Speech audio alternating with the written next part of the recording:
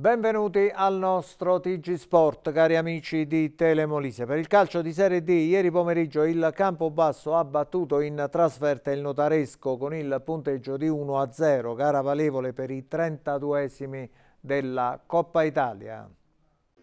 È la testa di Leonardo Nonni a qualificare il Campobasso ai sedicesimi di Coppa Italia di Serie D. L'avventura del Notaresco invece finisce qui in un pomeriggio nel quale Bruno dà spazio alle seconde linee in attesa della trasferta di Vasto Girardi di domenica. Primo tempo con un Campobasso decisamente più in palla, anche perché con una formazione meno rimaneggiata del Notaresco. Rasi a sinistra prova la sgroppata al quinto, chiusa da Campestre, sempre suo il diagonale al settimo, debole, controllato da Santarelli. E il binario Mancini Ticino, quello battuto più di frequente dai Molisani, da lì al ventesimo spiova il traversone di Corvino che ricamato corregge in modo approssimativo. Il numero 10 disegna da corner a metà frazione, la respinta corta e preda del sinistro impreciso di Maldonado alto sopra la traversa. Il notaresco si vede per la prima volta al ventottesimo, Braghini trova il corridoio verticale per Patrizzi, sinistro debole sul primo palo controllato da Esposito. Sulla sponda opposta Santarelli è attento quando sventa un retropassaggio avventato e corto di di altezza su cui Ripa era già in agguato. Campobasso che fa le prove generali del vantaggio al 53esimo con Lombari, lanciato da ricamato diagonale, disinnescato con i piedi da Santarelli che nulla può però. Al 57esimo, quando Corvino da corner pesca la testa di Nonni libero di girare in rete il pallone del vantaggio. Bruno inserisce Raniere e Scipioni prima, Bonfiglio poi per ravvivare un notaresco che crea poco e anzi rischia grosso al 73esimo quando proprio Bonfiglio è troppo leggero nello scarico, a Bonchelè frana su campestre ma per l'arbitro in maniera regolare, liberandosi per il diagonale respinto ancora da Santarelli, che si salva qualche istante più tardi quando Maldonado indirizza male il tocco sotto misura. Ancora Molisani con la testa fuori di Rasi, mentre al minuto 85 Braghini con una conclusione volante ad impegnare Esposito per la prima ed unica volta nella ripresa. Abreu al novantesimo appena entrato potrebbe scrivere il suo nome nel tabellino dei marcatori e chiudere la contesa, ma in ripartenza manca il colpo del KO col sinistro. Debole un paio di minuti dopo il tentativo di Bonfiglio da posizione defilata. Di poco larga invece quella di Dinardo al terzo minuto di recupero. Finisce dunque con la qualificazione molisana. Il 15 15 novembre i sedicesimi di finale saranno contro il Fano, il notaresco invece guarda già alla trasferta di Vasto Girardi. La rete messa a segno da Nonni ha concesso ai Lupi di staccare il pass per i sedicesimi, ancora in gara secca a Selva Piana, esattamente il 15 novembre contro il Fano. Match I match d'andata e ritorno sono previsti soltanto a partire dalle semifinali. Termoli, Vasto Girardi ed FC Matese hanno avuto più giorni per preparare la settima giornata di campionato rispetto al campo basso, unica con il favore del campo, domenica prossima il Vasto Girardi. Buona prova del Campobasso nei 32esimi di Coppa Italia, notaresco il secondo successo della gestione per Golizzi, vale anche il passaggio del turno ai sedicesimi di finale. Il tecnico ha voluto confermare buona parte dei giocatori scesi in campo con il Senigallia, fatta qualche piccola eccezione. Una scelta tesa a dare continuità alla squadra a prescindere dalla qualificazione che era un aspetto secondario.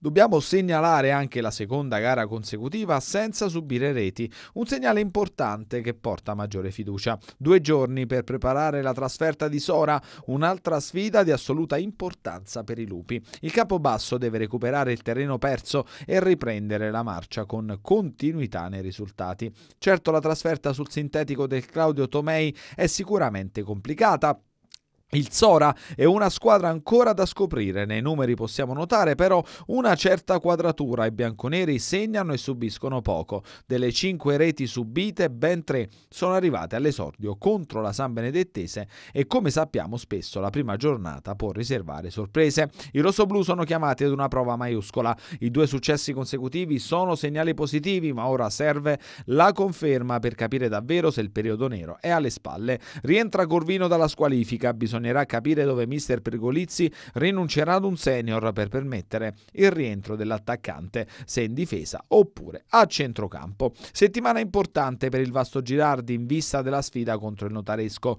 Quattro stop consecutivi impongono il ritorno immediato ad un risultato positivo. I gialloblu hanno bisogno di un successo per chiudere questa serie. Il Notaresco è un avversario in ottima forma, reduce da un pareggio e due vittorie, un cammino che consente agli abruzzesi di giocare la sfida del Ditello tabella con maggiore serenità, una condizione che ovviamente non interessa la squadra di Bifini, pronta a lottare per il bottino pieno. Termoli in casa del Fossombrone, trasferta complicata per i giallorossi sulle rive del fiume Metauro, la squadra guidata da mister Michele Fucili è imbattuta, tre vittorie e tre pareggi, un bottino invidiabile per una neopromossa. Il Termoli a parer nostro ha tutte le carte in regole per tornare dalla trasferta marchigiana con un risultato positivo. La squadra ha solo bisogno di fiducia per risalire la classifica, le prestazioni non sono mancate in questo avvio di stagione e ora è tempo di raccogliere i frutti. Tre successi consecutivi per l'FC Matese, la squadra biancoverde sarà ospite del Fano. Ottimo momento per il collettivo guidato da Corrado Urbano, obiettivo continuare sulla rotta tracciata e perché no cercare il quarto acuto consecutivo. Nuoto Manuel Bortuzzo, nuotatore colpito da un proiettile in un agguato a Roma e oggi nuotatore paralimpico delle Fiamme Oro, sarà l'ospite d'onore della terza edizione delle Stelle del Nuoto del Molise, cerimonia che premerà i nuotatori e le società che si sono distinte nella stagione 2022-2023. L'appuntamento è per domani a partire dalle ore 18 presso l'ex Gill, un premio speciale verrà attribuito alla memoria di Alessandro Izzi, capitano della squadra Master M2, prematuramente scomparso nello scorso mese di aprile. Futsal di Serie A2 Elite, il Cus Molise è atteso in casa della Roma calcio a 5 per la terza di campionato. Capitolini imbattuti con un pareggio e una vittoria. A proposito della sconfitta contro il Canosa, veramente rocambolesca, Denisco. Carlo Denisco, dunque davvero un grosso peccato questa sconfitta 3-0, 3-4, pure siete stati lì la potete portare a casa. Sì, eh, siamo dispiaciuti e delusi da, da questo risultato perché l'avversario era alla nostra portata, abbiamo fatto un ottimo primo tempo, siamo andati in vantaggio, abbiamo gestito, poi abbiamo sofferto il secondo tempo e loro gioca a 5 che questo. Mi ha creato un po' di difficoltà questo gioco a 5 del Canosa perché fino ad allora eravate stati molto precisi. Sì, abbiamo sofferto questo gioco a 5, loro secondo tempo sono ripartiti aggressivi, noi non siamo riusciti a gestire più il pallone e siamo andati proprio in difficoltà sui loro attacchi. Abbiamo sbagliato una serie di scelte anche sotto la porta, siamo stati anche sfortunati, però la sfortuna di certo non è una scusa. Ci rifaremo, speriamo, la prossima. Assolutamente, un campionato comunque come stiamo vedendo anche dai risultati molto equilibrato, non ci sono grossi scarti questo vuol dire che ogni sabato insomma, si dovrà cercare di fare qualcosa. Sì, il girone è molto equilibrato, sono, sono, tutti più o meno dello stesso livello, quindi le partite si vincono proprio ai dettagli e l'abbiamo persa proprio lì. Ascolta, comunque da parte tua c'è soddisfazione per la doppietta, secondo gol ti faccio i complimenti, davvero molto molto bello perché sei stato rapido, è sicuramente una notizia positiva la tua doppietta anche per il proseguo della stagione. Sì, io cerco sempre di lavorare al massimo durante la settimana, poi grazie ovviamente ai compagni si arrivano i gol, eh, però purtroppo non hanno portato punti, quindi sono solo dispiaciuto. Sempre per il futsal, ma di Serie B, seconda giornata alle porte, lo Sporting viaggerà a Colleferro. Nell'esordio in cadetteria è arrivata la sconfitta contro Sulmona. A margine del match il commento del tecnico abruzzese. Mister del Sulmona Antonio Ricci, raggiante per questa vittoria 3-0 a Campobasso dopo un primo tempo obiettivamente equilibrato, avete calciato più voi in porta che il, lo Sporting che ha calciato sì ma fuori dai pali, almeno questa notazione eh, abbiamo riscontrato, poi nel secondo tempo avete approfittato degli errori altrui. Sì, sapevamo, la prima del campionato è sempre difficile contro anche una squadra ben messa e organizzata come, come il Campobasso immaginavamo questo tipo di, di difficoltà e quindi il, il, primo tempo anche perché questo è un campionato che si conoscono così bene gli avversari, quindi eh, sia al campo basso che noi credo che sia stato un primo tempo un po' più di più volto all'attenzione, nel secondo abbiamo provato un po' più a vincerla e quindi poi il risultato ci ha dato ragione. Il Sulmona ci è parso una buona squadra, quali sono gli obiettivi? Guarda, gli obiettivi li lascio dare alla società, noi all'interno dello spogliatoio ce lo siamo dati ovviamente e come, come ho detto anche all'intervista di presentazione per me è, è, è quello di uscire tra, tra, gli applausi, dentro che fuori, cercando di dare il massimo, quello che, che possiamo. È una squadra, una squadra giovane, um, abbiamo tre elementi che vengono dal vecchio gruppo del del, eh, storico del, del, Sulmona, ma poi abbiamo preso un gruppo di ragazzi che vengono da, da solo l'esperienza della 19, quindi è la prima volta che scoprono che Babbo Natale non esiste più. Un'ultima cosa, ma in parte già ci ha risposto, un'impressione sul campo basso?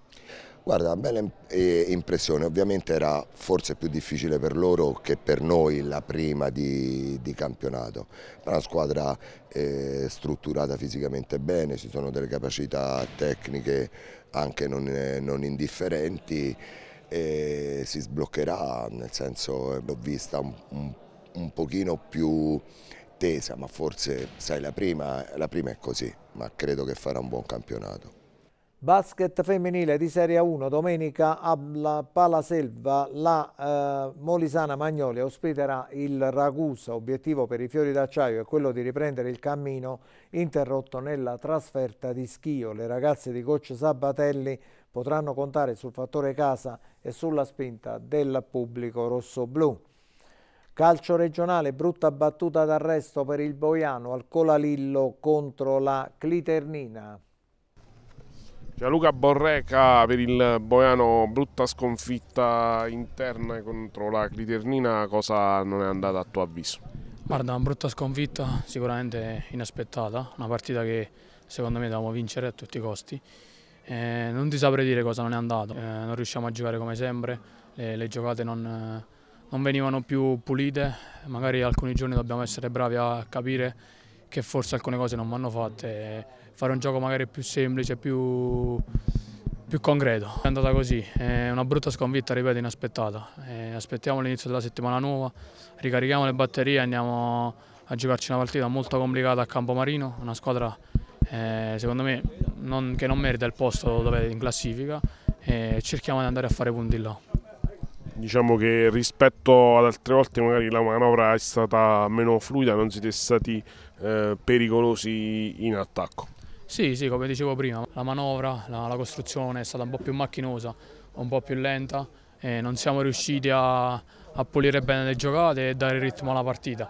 Purtroppo ci sono giornate che va così, è andata così e ormai dobbiamo solo aspettare la settimana prossima e ricominciare a lavorare. Siete, prima di questa partita eh, siete stati bravi a vincere in Coppa eh, contro il Riccia e poi eh, in campionato invece eravate reduci da un pari a Venafro, adesso bisogna ritrovare la strada giusta. Sì, sì, era un periodo positivo devo dire, abbiamo fatto una grandissima partita a Venafro su un campo difficilissimo, abbiamo fatto una buona vittoria eh, in Coppa Italia contro il Riccia, una squadra secondo me forte per la promozione. Eh, purtroppo ci sono dei periodi, dei momenti in cui le cose vanno male, girano male. Ora ci prendiamo tutte le responsabilità del caso, eh, lavoriamo, lavoriamo e basta, è l'unica cosa che possiamo fare. Il Termoli 2016 è reduce da due pareggi consecutivi, entrambi maturati da una situazione di svantaggio dopo la gara contro il Castel di Sangro, abbiamo avvicinato il classe 2005 Celozzi.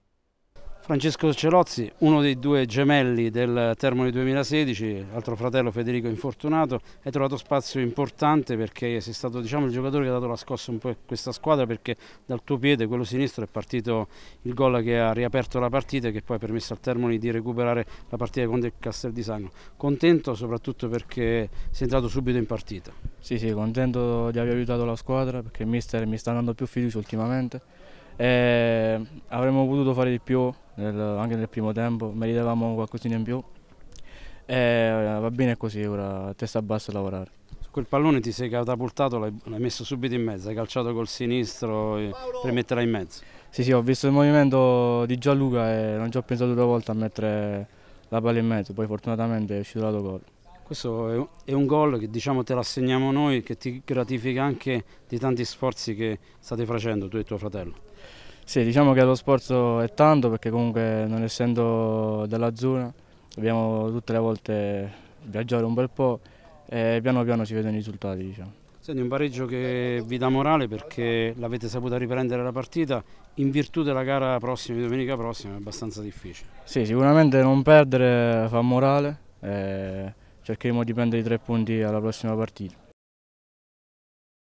Bocce il Veneto ospiterà da domani a domenica i campionati italiani sitting, standing e, D, e DIR tra il bocciodromo comunale di Padova, il bocciodromo Zelarino di Venezia e la, Serani, la Serenissima Venezia scenderanno in campo atleti con disabilità intellettivo-relazionale, atleti con disabilità fisica in carrozzina e giocatori con disabilità fisica in piedi. Gli atleti in gara saranno un centinaio in rappresentanza di società di quasi tutte le regioni. In campo anche l'ex campione italiano individuale Mauro Piacente e Pasquale Evangelista dell'Avis Campobasso. Il paese di Colli al Volturno ha voluto omaggiare il proprio compaesano Domenico Marzullo a 20 anni dalla sua scomparsa, posando una targa ricordo nel centro storico del comune. Il 5 ottobre scorso c'è stato il ventennale della scomparsa di Domenico Marzullo, un ciclista che è rimasto nella mente di tutti gli appassionati del settore e naturalmente dei suoi concittadini. Per quel che riguarda queste immagini stiamo vedendo proprio la posa della targa ricordo che eh, nella mattina del 7 ottobre è stata posta sulla ripida salita del centro storico di Colli al Volturno, dove Domenico si allenava e eh, ripeteva il percorso per 12 volte. Nell'ordine adesso vedremo l'intervento del sindaco di Colli Emilio Incollingo, quello della moglie di Domenico Marzullo Giuliana Sabatini e l'intervento di Gaetano Rossi, promotore del comitato organizzatore degli eventi per ricordare Domenico Marzullo. Io ho sempre sentito parlare di questa impresa che lui faceva quotidianamente allenandosi, quindi salendo le rampe del centro storico, addirittura caricandosi di ulteriori pesi, un sacchetto con 3 kg di sabbia proprio per rendere più faticoso eh, e arduo eh, l'impegno e quindi penso che sia giusto eh, che ci sia un ricordo permanente. E può essere questa un'ulteriore attrazione per eh, il nostro borgo, per, per il nostro paese. Io ringrazio tutti i collesi di questa bella manifestazione.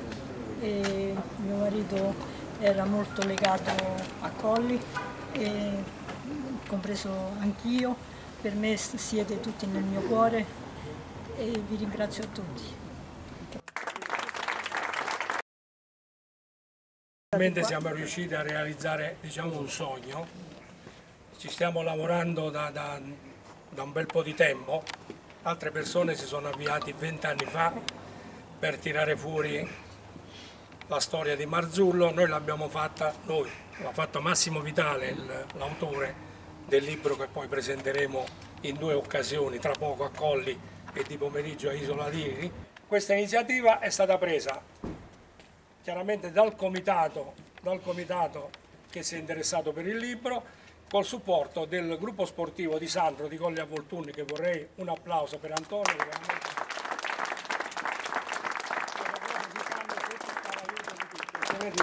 E la Molise Ricanti con gli amici ciclisti del centro-sud quello che vi stavo dicendo, perché quando ho chiamato in Campania, nelle Marche, diciamo in tutta Italia, anche dal Piemonte e dal Veneto, tutti si ricordano del Marzullo, lo portano nel cuore, salutano caramente la signora e la famiglia e quindi grazie a voi che ci avete dato questa possibilità.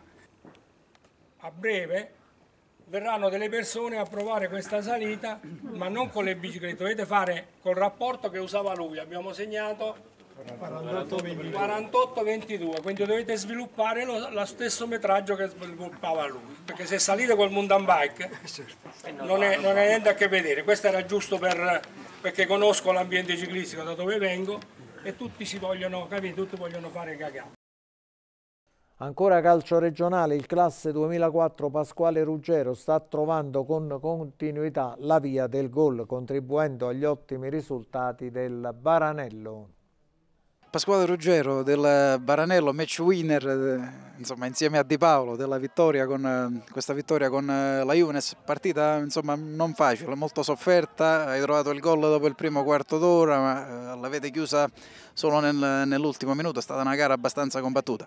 Sì, sì, sì, abbiamo, ci sono state molte occasioni da entrambe le parti, è stata una grande vittoria perché abbiamo sofferto tutti insieme come gruppo, abbiamo attaccato come gruppo e niente, questo. È stata una grande partita e siamo riusciti a vincerla. Sì, il primo quarto d'ora del secondo tempo forse vi siete abbassati un po', la Juventus ha avuto un paio di occasioni, poi ha chiesto anche il calcio di rigore, non so se eh, insomma, tu eri vicino all'episodio sul, sul, tiro di, di arco. Eh, non mi ricordo bene questo episodio, però comunque calcio di rigore loro, calcio di rigore nostro, fallo loro, farlo per noi, le partite sono così.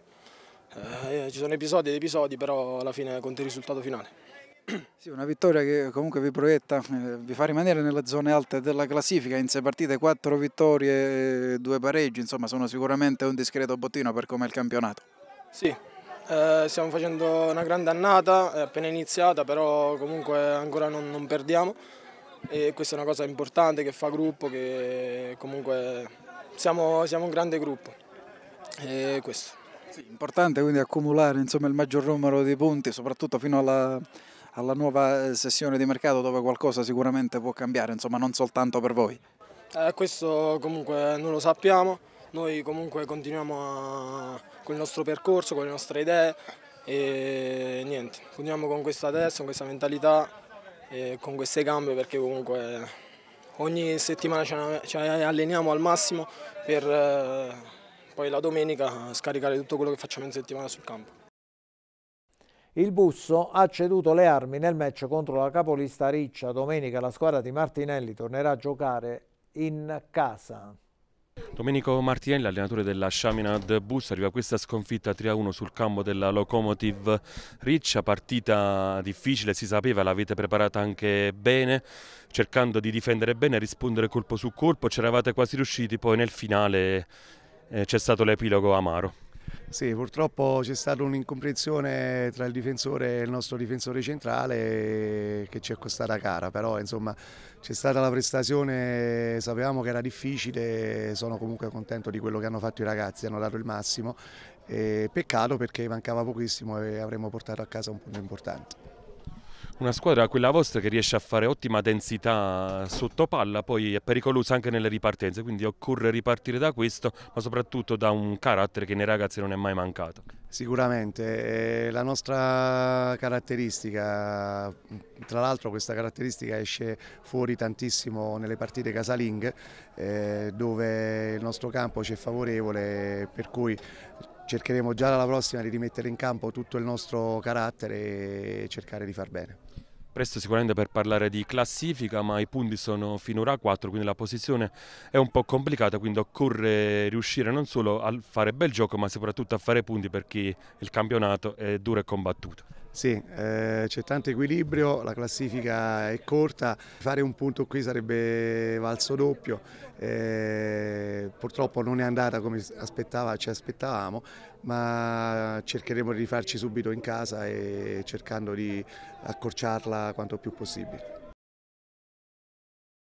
A partire dall'anno scolastico in corso, nell'Istituto Comprensivo Dovidio sarà attivo una, uh, un indirizzo uh, sportivo che si prefigge di uh, promuovere e far conoscere il valore educativo e formativo dello sport e i corretti stili di vita. Il percorso è nato dall'esigenza di ampliare l'offerta formativa della scuola secondaria di primo grado con attività multisportive al fine di valorizzare l'educazione fisica e motoria. Questo nuovo piano di studi prevede settimanalmente due ore aggiuntive dedicate alla formazione sportiva. Il corso verrà presentato lunedì prossimo 23 ottobre alle 10 presso l'auditorium della Dovidio a Campobasso. Per gli appuntamenti ancora una mostra di respiro internazionale per l'artista campobassano e nostro amico veramente da tantissimi anni Piero Perrino. Una selezione dei suoi quadri sarà esposta a Cracovia da domani in Polonia, naturalmente, da domani fino al 3 novembre. Le opere selezionate rappresentano l'essenza dell'arte di Piero Perrino raccontando il suo rapporto con il mondo e come lui stesso lo interpreta. Bene, è tutto per questa edizione del nostro TG Sport. Buon pomeriggio.